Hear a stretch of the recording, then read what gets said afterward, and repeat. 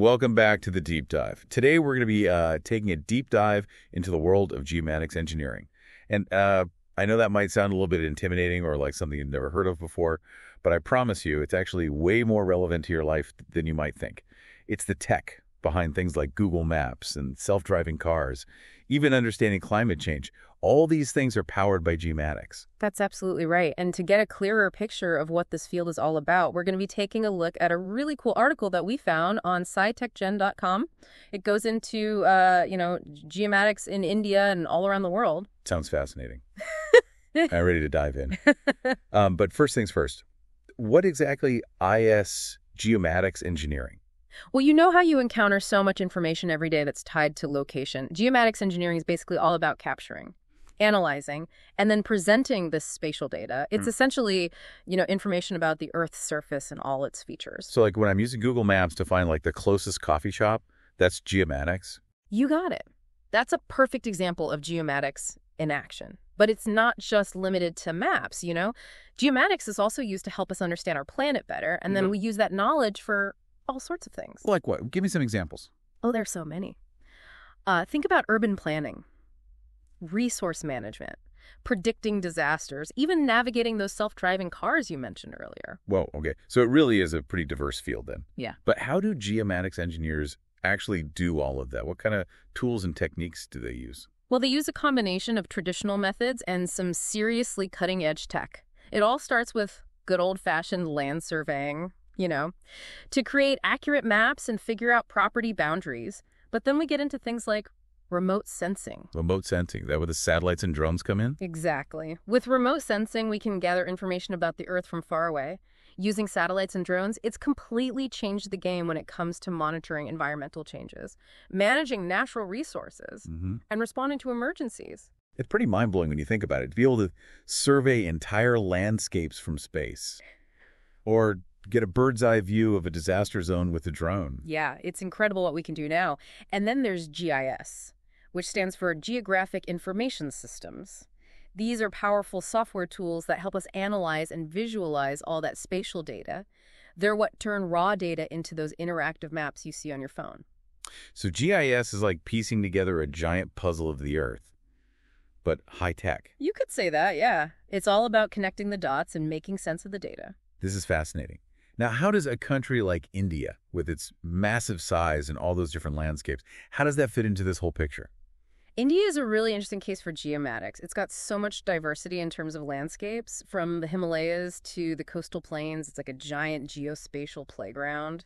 I can see how it would be a dream for a geomatics engineer. So what's the state of geomatics education like in India? It's definitely a growing field. Lots of Indian universities, even the really prestigious ones like the IITs, now offer specialized courses in geomatics engineering.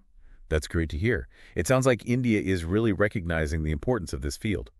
Now, for someone who's maybe listening and thinking, hey, this geomatic stuff sounds pretty cool, what subjects should they be focusing on if they want to pursue a career in this? Well, geomatics kind of sits at the intersection of math, science, technology, and even environmental awareness. So you need to have a good foundation in all those areas. So it's more than just being good with maps then. You need some serious brain power. Absolutely. You'll need to be comfortable with math like calculus and linear algebra, physics for understanding things like gravity and electromagnetism, and computer programming to be able to collect, analyze, and model data. Wow. Sounds like a lot to learn. It is, but it's also incredibly rewarding because you're essentially learning how to understand and interact with our planet in a whole new way. I can see the appeal in that. So besides all the technical stuff, what about the earth sciences? Oh, those are super important too. You'll need a good grasp of things like geology, environmental science, hydrology. All that helps you interpret the spatial data and apply it to real-world problems. So you need to understand the why behind the where. Exactly. It's not just about knowing the location of something. It's about understanding the context and the processes that shape our planet. This is all so fascinating. It's amazing how geomatics combines these traditional techniques with such cutting-edge technology. So with all this knowledge and expertise, what kind of career paths can someone actually pursue in geomatics? Oh, the possibilities are pretty much endless, and they're constantly expanding as new technologies emerge. But one of the big areas where geomatics expertise is in high demand is urban planning. That makes a lot of sense, especially in a country like India that's developing so rapidly. Geomatics must be essential for designing efficient and sustainable cities. Absolutely. Geomatics professionals are involved in everything from designing smart cities to optimizing transportation networks to managing urban sprawl. All these things rely heavily on spatial data and analysis. It's like they're the architects of a city's future. So besides urban planning, what other exciting opportunities are there in this field? Well, geomatics is also crucial in land surveying, Hmm. making sure that property boundaries are accurate and that land is used responsibly. And with the rise of GPS and GIS, there's a whole world of navigation and location-based services out there. Think in-car navigation systems, advanced tracking systems for logistics. All that is powered by geomatics. So geomatics is kind of quietly powering so many aspects of our daily lives.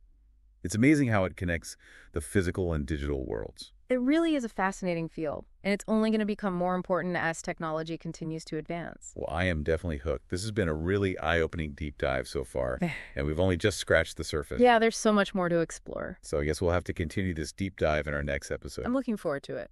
Me too. And for our listeners, don't forget to subscribe to our channel so you don't miss part two of this deep dive into the world of geomatics engineering. We'll be back soon with more insights and exciting discussions. Until then, keep exploring, keep learning, and keep diving deep. All right, so we're back and ready to continue our deep dive into the world of geomatics engineering. Yep, let's pick up where we left off. Perfect. So before break, we were talking about all the cool career opportunities in geomatics, like urban planning. Right, and there are tons more. Okay, like what?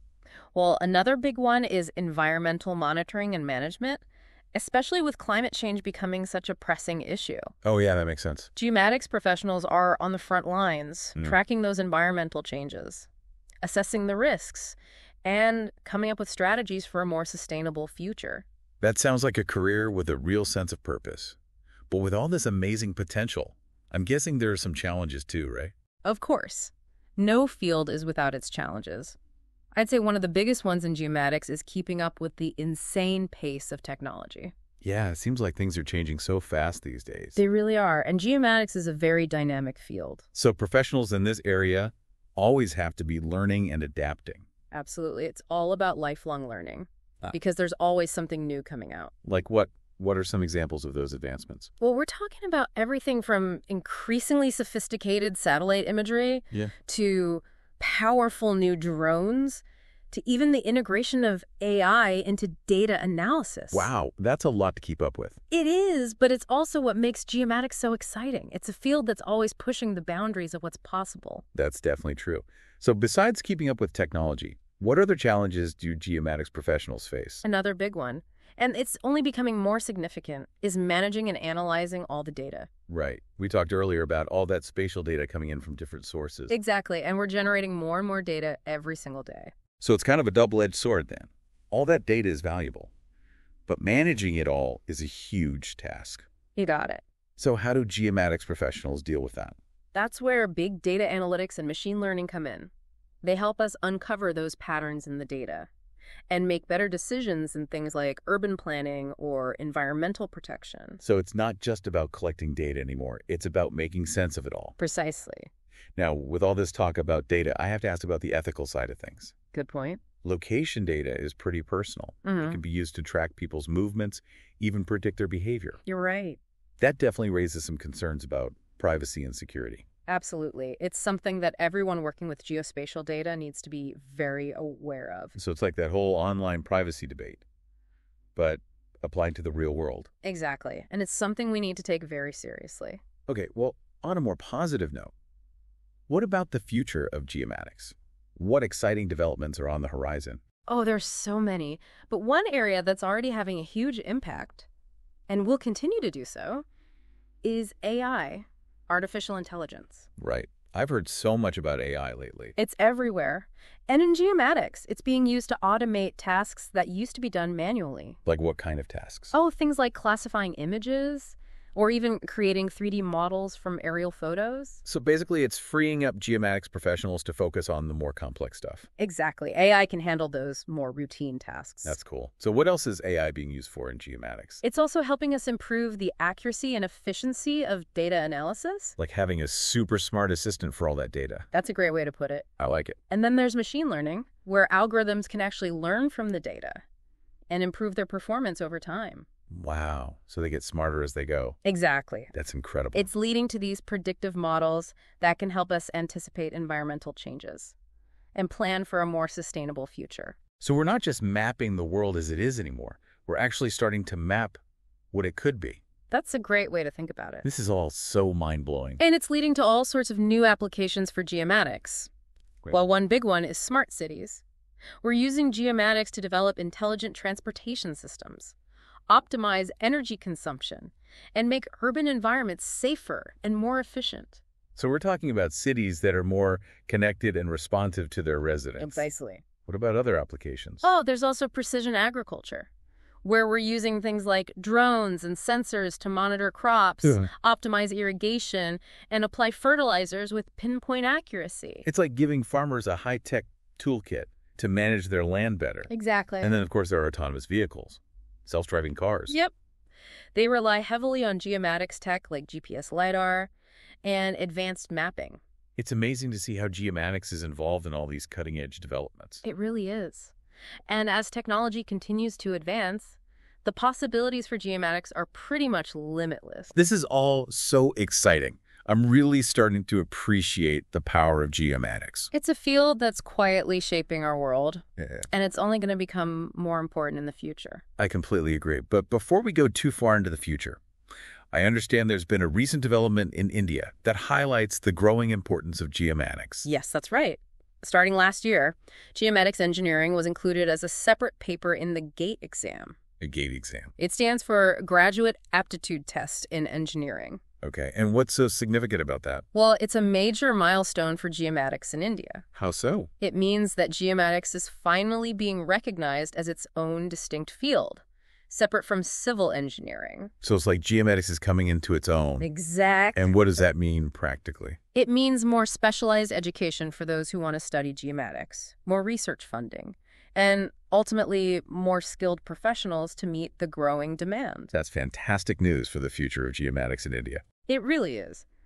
The article we've been talking about even mentions several organizations in India, both government and private, that are actively looking for skilled geomatics professionals. What kind of organizations are we talking about? On the government side, there's the Geological Survey of India, the Space Application Center of ISRO, the Department of Science and Technology, even the military. All those make sense. And then in the private sector, you've got companies involved in oil and gas exploration, telecommunications, infrastructure development, and those emerging fields like precision agriculture and location-based services. So basically, if you're skilled in geomatics, you've got options. Lots of them. This has been such an amazing journey into the world of geomatics engineering. I'm blown away by how broad this field is. Me too. And it's so relevant to the challenges we're facing today. Absolutely. Whether it's navigating our cities, managing our resources, or tackling climate change, geomatics is playing a vital role. Well said.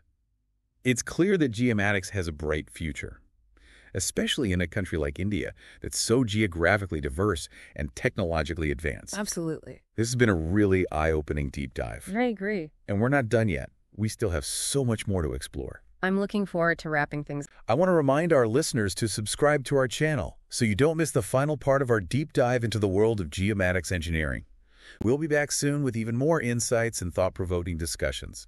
Okay, so we're back for the final part of our deep dive into geomatics engineering. Yeah, it's been quite a journey. It really has. We've learned so much about this fascinating field Yeah. and its impact on our world. And we've still only scratched the surface. Exactly. There's always more to explore. But before we wrap things up, I wanted to touch on something we talked about earlier. All that spatial data. Oh, yeah. It's only going to become more and more important. Right. And I think that's going to create even more opportunities for geomatics professionals. I agree. As technology advances, we're going to need people who can make sense of all that data. It's like a whole new frontier for geomatics. Absolutely. And speaking of the future, I believe you had a thought-provoking question for our listeners. I do. As technology keeps pushing those boundaries between the physical and digital worlds, what role will geomatics play in shaping this new reality? How will it help us understand, manage, and even design the increasingly complex environments we'll be living in? That's a really interesting question. It makes me think about things like virtual reality and augmented reality Hmm. and how geomatics principles are already being applied in those areas. Exactly. Take the metaverse, for example. Geomatics will be essential for creating and managing those virtual spaces, making sure they're connected to the physical world. It's mind-blowing to think that we might one day use geomatics to navigate virtual worlds. It's not that far-fetched. And that's just one example. As AI, augmented reality, and other transformative technologies evolve, geomatics will be more important than ever. It's not just about mapping what is anymore, it's about mapping what could be. I love that. Well, this has been an absolutely incredible journey, It has. exploring the world of geomatics engineering with you. I've really enjoyed it. Me too. And I hope our listeners have found it as fascinating as we have. I hope so too. If you're interested in a field that's intellectually stimulating, technologically challenging, and has the potential to make a real difference, I highly recommend checking out Geomatics Engineering. You might just discover your next passion. And who knows, maybe you'll be the one to create the next big geomatics innovation that changes the world. That's a great thought to end on. Well, that wraps up this episode of The Deep Dive. Thanks for joining us on this exploration of geomatics engineering. And as always, don't forget to subscribe to our channel for more deep dives into fascinating topics. That will expand your mind and spark your curiosity. Until next time, keep exploring, keep learning, keep diving deep